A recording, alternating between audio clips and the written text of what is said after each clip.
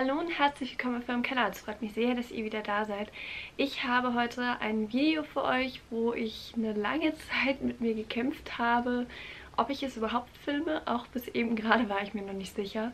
Deswegen filme ich das Video auch erst jetzt am Sonntag statt am Samstag ähm, weil ich bisher mit mir gekämpft habe. Es geht nämlich um die Review meines Burberry Trenchcoats. Und um es gleich schon mal vorwegzunehmen, es wird nicht gerade eine sehr positive Review. Deshalb äh, habe ich auch lange mit mir gekämpft und äh, ja, fühle mich auch nicht so gut dabei, aber wiederum sollte man ja ehrlich sein und deshalb äh, habe ich heute die Review für euch. Äh, ich habe aber auch meinen Burberry Pullover an, um zu zeigen, dass ich äh, die Marke auf jeden Fall sehr, sehr gerne mag. Es ist mein liebster Designer. Aber ich habe heute nicht ganz so gute Sachen zu erzählen. Also, das ist der Trenchcoat. Ich hatte äh, ein Video gemacht, als ich ihn neu hatte. Da habe ich auch, ich glaube, das ist das zweite Video, was ich überhaupt hier auf meinem Kanal veröffentlicht habe. Ähm, das verlinke ich auf jeden Fall unten in der Infobox. Ähm, ja, das ist der Trenchcoat. Der hat auch noch so ein rausnehmbares Futter. Das habe ich jetzt im Winter hier drin.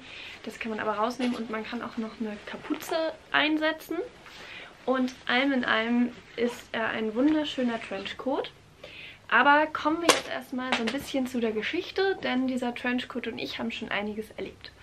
Also, gekauft habe ich ihn 2016, ich glaube im August müsste das gewesen sein. Und dort lief er noch unter Burberry Brit. Und ich habe ihn in München gekauft und es war ein traumhaft schöner Trenchcoat. Ähm, er gefiel mir besser als der äh, Originale. Ähm, ich weiß gar nicht, wie der heißt. Ist der Westminster? Ähm, ich weiß es gerade gar nicht. Äh, die haben ja unterschiedliche Namen für die Längen. Ähm, und er gefiel mir auf jeden Fall besser. Ähm, es war das gleiche Material. Er war genauso wasserabweisend. Ähm, kaum schmutzanfällig, hatte keine Knitterstellen und nichts. Zwei Wochen später ungefähr ähm, hatte ich dann das Problem, dass von meinem Trenchcoat vorne am Ärmel ähm, hier eine von diesen Laschen abging.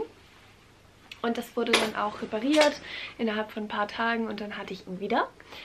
Ähm, ich habe ihn sehr, sehr gerne getragen, sehr viel getragen und irgendwann äh, hat es dann angefangen, dass ich hier vorne das Material ein bisschen aufgelöst hatte. Und dann hatte ich hier Löcher drin und bin dann hingegangen und das wollten sie dann auch reparieren. Ähm, die Schneiderei hat das allerdings nicht wirklich hinbekommen und daraufhin hat man mir dann angeboten, dass ich einen neuen Trenchcoat bekomme.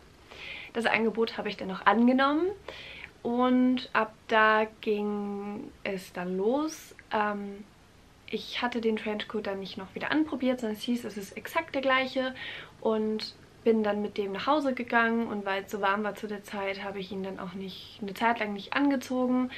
Ähm, irgendwann merkte ich dann, als ich ihn ab und zu mal getragen habe, dass er viel, viel schneller knittert und das Material war auch viel dünner und leichter.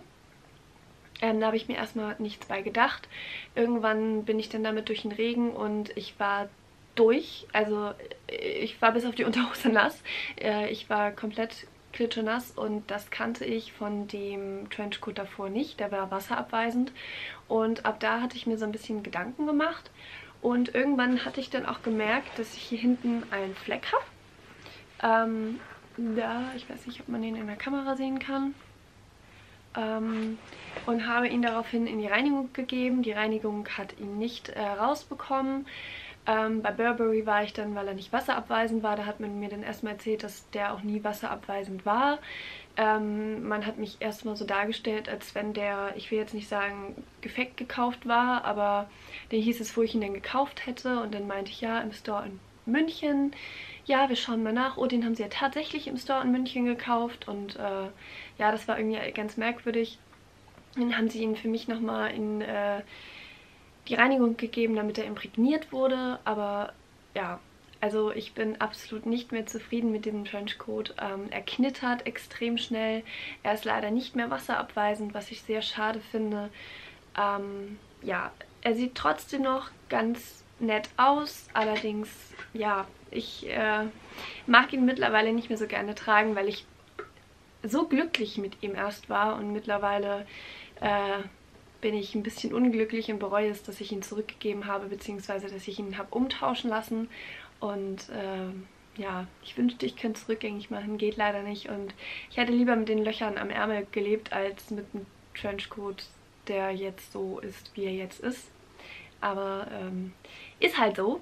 Ja, und ein Punkt, der mich auch sehr stört, also wirklich sehr stört, ist, dass da jetzt Made in China drin steht und äh, ich bezahle nicht äh, 900 Euro, um einen Trenchcoat zu bekommen, der in China zusammengenäht wurde. Also das sehe ich wirklich nicht ein und da bin ich auch wirklich enttäuscht, weil ich weiß, dass der ursprüngliche irgendwo in Europa hergestellt wurde. Ich weiß nicht mehr so ganz wo genau. Ich glaube Portugal oder Spanien.